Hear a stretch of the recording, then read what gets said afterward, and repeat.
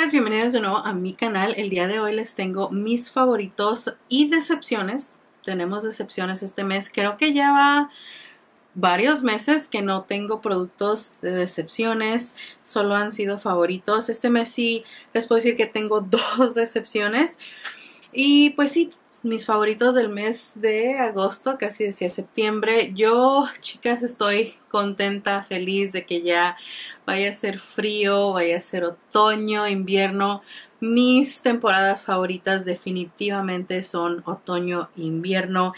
No solo del maquillaje, pero pues que se, está frío, está súper a gusto. A mí me encanta el frío. Mis primeros favoritos tienen que ser estos aretes de ah, ojitos. Y estos los agarré en AliExpress y me gustaron mucho porque tengo los otros que son de tres y este es solo pues solo ah, y me gustó mucho so yeah ese es mi primer favorito es creo el segundo video que me los pongo pero no son nada pesados pero tampoco se, se sienten como chafiuskis so yeah mi primer favorito ahora vamos con los productos de maquillaje siento que este mes sí tengo productos nuevos que no les he mostrado favoritos nuevos, favoritos diferentes a otros meses porque yo sé hay meses que tengo los mismos productos mes tras mes, pero ¿qué les puedo, qué les puedo decir? ¿Qué puedo hacer si son productos que me han encantado? Algo que les quiero mencionar porque solo hay una paleta de sombras. Vamos a comenzar con eso. La paleta de ColourPop Baby Got Peach, que es su paleta durazno. Esta ha sido mi favorita del mes de agosto. La usé muchísimo para maquillajes súper simples, rápidos. Que aún es un tono cálido pero es como más clarito eh, haciendo este estilo de maquillaje pues un color en la cuenca muy difuminado y ya un brillosito. Es lo que he hecho mucho. Y es la única paleta, les diré, porque ya que moví este cajón de este lado y tengo todas mis paletas aquí, me ha encantado tanto porque no tengo las paletas en mis cajones, como pueden ver, acá están mi, mi, otros cajones que tenía aquí, pues esta era la mesa que usaba para maquillarme y tengo dos cajones, no se alcanzan a ver, pero son dos cajones de Ikea y ahí tenía mucho maquillaje. So tenía mis paletas ahí en esos cajones y la verdad tenía paletas que usaba a diario y las mismas paletas y como este cajón estaba del otro lado, no me paraba a agarrar y escoger otra paleta. Y aquí me estoy maquillando solo es una mesa no tiene cajón solo tengo mi de este de Amazon que da vuelta y ahí tengo ya los productos para el rostro básicos y la verdad los únicos que tengo. So, al punto verdad so ya que tengo esto aquí me ha encantado tanto que escojo la paleta que quiero el día ese día escojo, me volteo, oh, no he usado esta, oh, no he usado esta. Y así he estado dándole más uso a mis paletas. Obviamente no he estado usando la paleta tan frecuentemente si estoy cambiando a cada rato, pero no me molesta eso porque uh, le estoy dando uso a las paletas. Como el día de hoy les voy a mostrar, eh, usé esta paleta que tenía mucho que no, no la usaba. Creo que nunca les hice video con esta paleta no, recuerdo, pero esta es la paleta de You Can Be, se llama Magic Spell Eyeshadow Palette y me encantó mucho. Es una paleta muy parecida a una de Lime Crime. Muchos dijeron que era un buen dupe. La verdad, la calidad a mí me encantó. Es la que usé el día de hoy. Obviamente tiene tonos verdes, pero yo quería usar los tonos cálidos, que mis meros moles. So, yeah, eso me ha gustado muchísimo. Ah, me tiene muy feliz estar usando mis productos. So, esta es la única paleta de favoritos que les tengo que les puedo decir que usé día tras día tras día la usé. So, ahora vamos con los productos del rostro porque es lo que nos queda. Tengo la base de ColourPop que es mi favorita. Les dije esto en el... Uh, llevan dos videos que casi se me cae un producto. Les hice reseña que se las dejaré aquí en la cajita de descripción o es el video anterior a este. Si gustan ver cómo me la aplico, uh, si me gusta, si no me gusta. Obviamente están mis favoritos. Ay, qué burra. Es mi favorita. es la única base que he usado el mes de agosto porque la verdad me encantó mucho. Yo tengo la mía en el tono Miriam 80W. Y acompañando la base también he estado usando muchísimo el corrector de ColourPop Pretty Fresh de la, de la misma línea de la base. He estado combinando estos dos y me encantaron. Los uso mucho. Este ya lo tenía porque ya había salido antes, de, antes que saliera la base y este lo tengo en el tono Light 40N y siento que me queda muy bien. Es un corrector hidratante, si te deja debajo de los ojos como una, no luminosidad porque es más como un glow saludable. Ahora, de prebases he estado usando estas dos, una de alta gama y una económica. La económica es la de Hard Candy que se llama Sheer Envy Hydrating Primer y es una prebase hidratante estilo el de Milk, el Hydro Grip. Este, estilo esta prebase o igual estilo la prebase de ELF, la Jelly Pop Dew Primer. Es el mismo estilo. Esta es la que dicen que es un dupe idéntico a esta. Uh, yo la quise probar. Me ha encantado muchísimo esta prebase. Dice que ayuda a que tu maquillaje se, pues, se agarre bien a la piel y te dure 12 horas te hidrata la piel y te ayuda a perfeccionar la piel. A mí me encanta este, refresca la piel tan, tan bien y es económico es económico. Yo tengo mucho que no compro productos de hard candy, pero siento que están eh, comenzando a mejorar la, la línea, como lo que pasó con Profusion, con Elf. Siento que están sacando productos muy muy buenos y la gente pues aún no está hablando tanto de hard candy, pero chicas, esta prebase me encanta.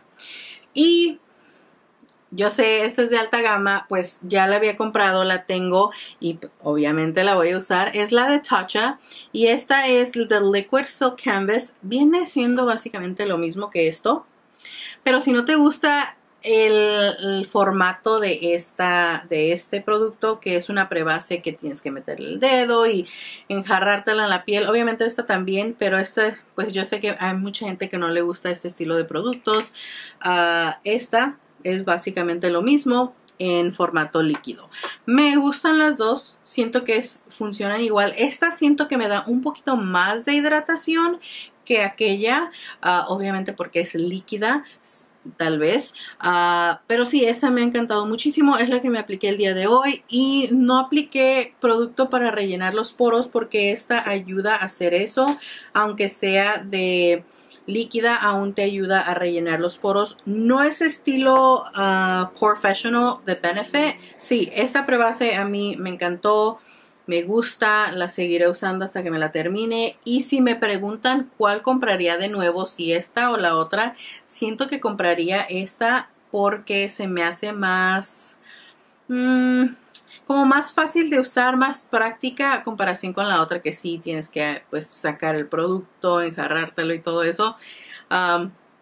preferiría comprar esta de nuevo porque yo siento que las dos funcionan igual. Ya es más preferencia de cada quien en la formulación y el formato que quieran. Y yo siempre hablando con las manos.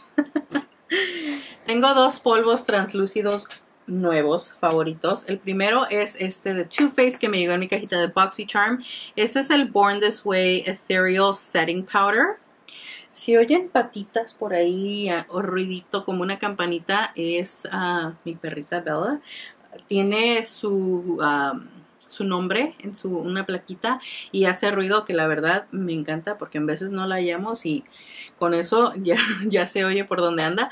Pero ese es el ruidito que anda por ahí. Las patitas que andan por ahí. Aquí está la huevona. Se la pasa todo el día durmiendo. Está un poquito greñudita, pero ya la vamos a llevar a, que le hagan su corte este fin de semana. ¿Verdad, mamás? Ah. Sí, hi. Ese es el ruidito que se escucha. Aquí está. ok, ok. Corre pues, vete a dormir. Muy buena. Este polvo me gustó muchísimo, es en el tono translúcido, me encantó que hayan enviado ese tono porque obviamente queda para más tonos de piel y me gusta que no se siente que te reseca la piel, te la sella muy bonito y si te da ese acabado blur como suave a la piel, te suaviza la piel y eso me gusta muchísimo. Ahora, como con la prebase, tengo opción más económica de polvo que me ha gustado muchísimo. Me he estado turneando ambos productos y el otro que me encantó, me encantó, me fascinó es el de ELF y es el Matte Setting Powder. Ahora, este es producto para sellarte el maquillaje te va a dejar el acabado mate.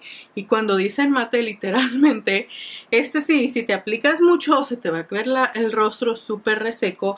Yo lo que hago es que como a mí me encanta el acabado que deja, aunque es así súper, súper mate, uh, so tengan cuidado si no les gusta un acabado muy mate, es que me aplico el polvo y me aplico spray fijador y eso es lo que siento que da un acabado aún más bonito porque se derrite ese polvo con el, el spray fijador y se ve tan bonito en la piel.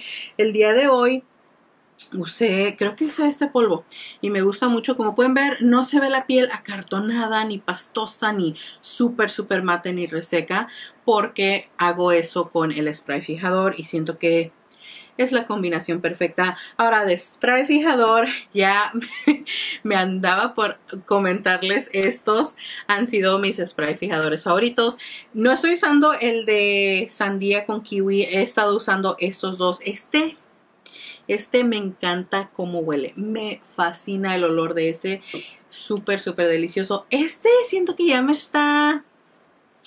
Me está cayendo mejor el olor. No huele tanto a coco, ni empalagoso, ni muy dulce. No tiene tanto, tanto el olor a mango, pero ligero. Uh, es más un olor fresco, ligero, un poquito dulcecito. Eso sí me gustó mucho ya el olor. Lo, ah, lo he estado usando muchísimo. Es el que usé el día de hoy. Y he, como les digo, cambiado día a día estos dos. Este ya va a la mitad de tanto que lo he usado. Estos son los spray fijadores que uso a diario. Me encantan cada que me maquillo, son los que uso. También me gusta refrescarme la piel como si me, eh, me maquillo súper temprano ya durante el día necesito refrescar la piel, uso estos, me fascinan. Un producto diferente que aún no he usado en cámara porque solo he estado practicando pues en mí misma obviamente y viendo cómo me gusta, cómo funciona, si sí me gusta y la verdad me ha gustado muchísimo es el contorno en crema de Wet n Wild.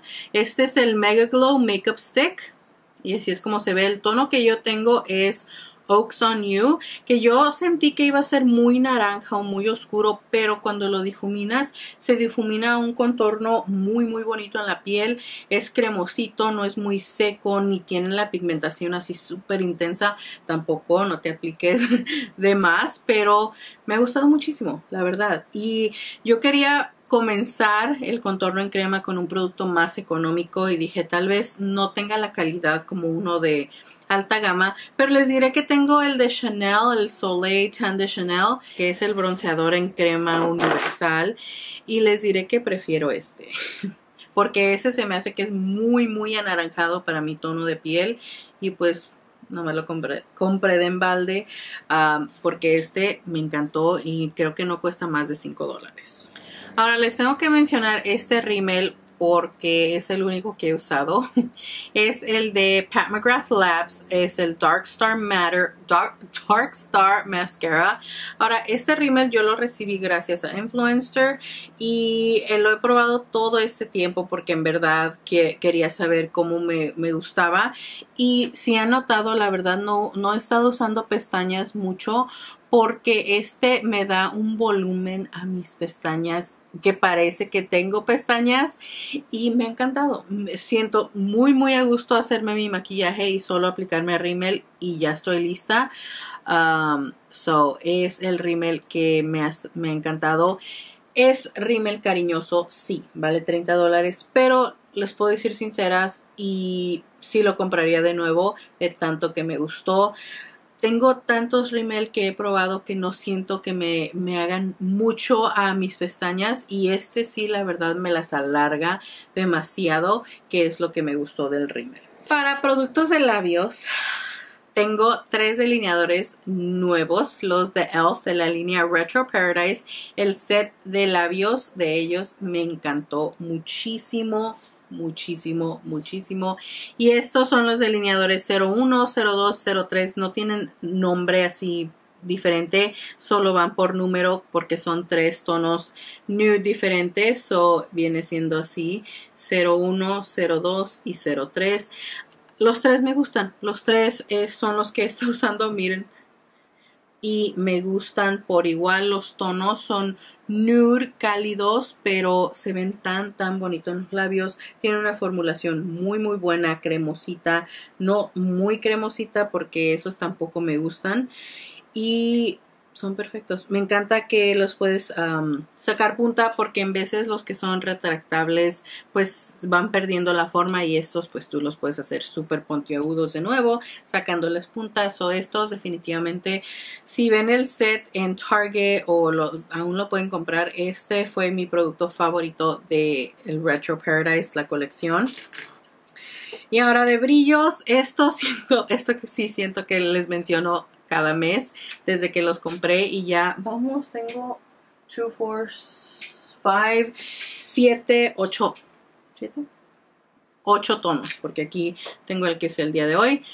sí, 8 tonos de los lifter glasses y les aviso que vi que en Twitter puso Maybelline una foto de 5 tonos que tienen exclusivamente para CVS y de definitivamente voy a ir a buscar los, los tonos porque están muy muy bonitos pero mis favoritos de este mes son estos dos el tono 002 Ice que yo sé que parece un rosita como medio lechoso pero en los labios es más un tono transparente. So, si has querido estos brillos, pero no te gusta, no, ni siquiera se ve el color, no te gustan los que tienen brillito, los que tienen color, este sería el tono perfecto para ti, porque pues no, no tiene tono, es más un, solo un gloss transparente y la formulación, les he dicho, me encanta.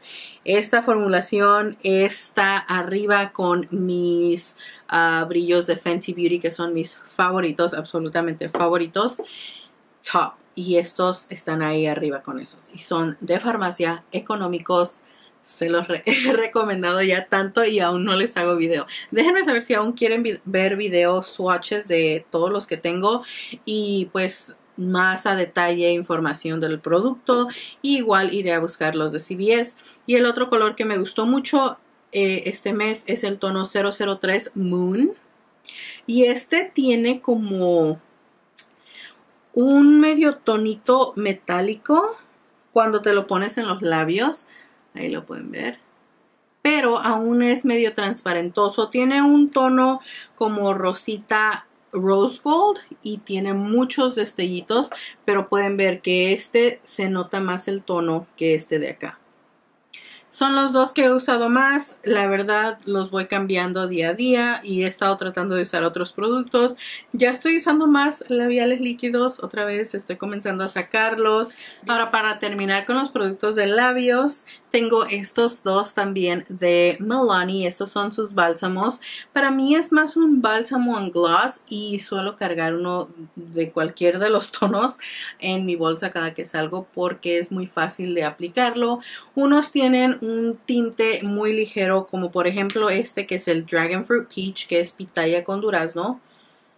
Tienen un toque de color y ya que te lo difuminas ya no se ve tanto así el color. Y este otro que es mi favorito blueberry acai no sé cómo se dicen esas dos frutas en español pero también tiene ese tono como más moradito azulito me encantan estos dos.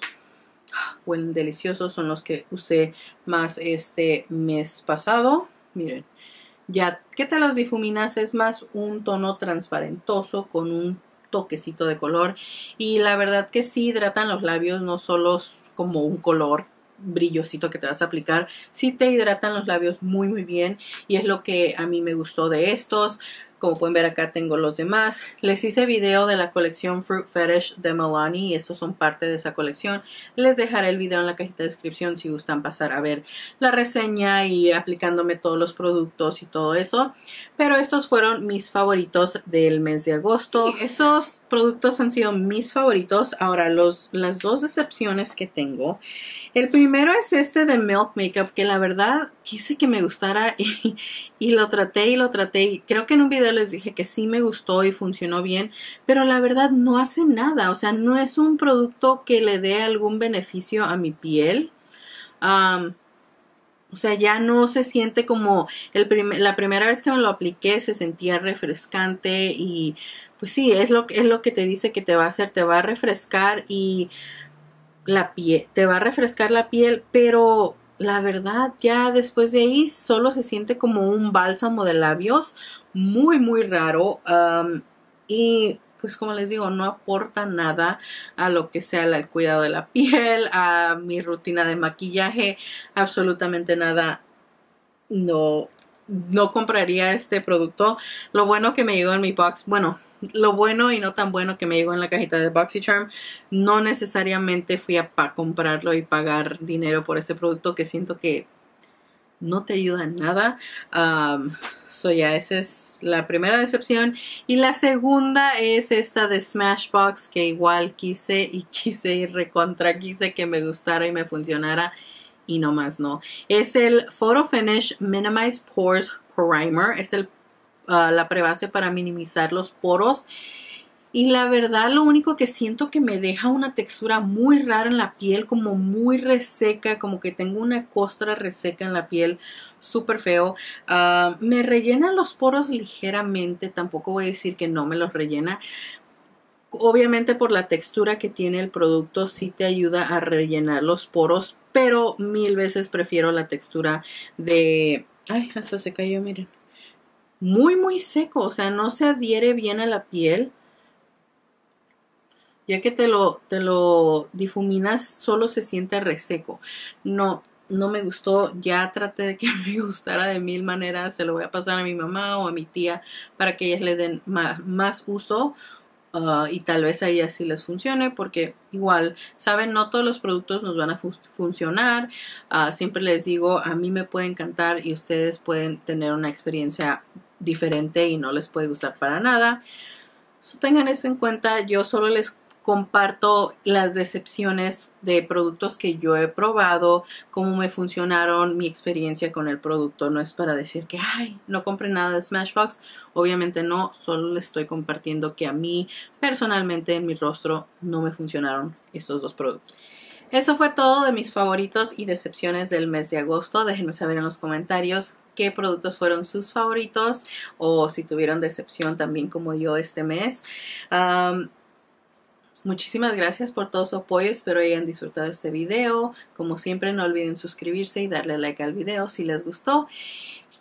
Y les veo en mi próximo video. Bye.